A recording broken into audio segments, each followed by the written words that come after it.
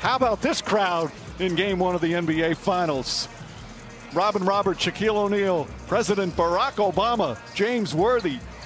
He is a huge basketball fan, loves the NBA, and has a pretty good left handed jumper. That's an outstanding point guard, small forward, and center. How about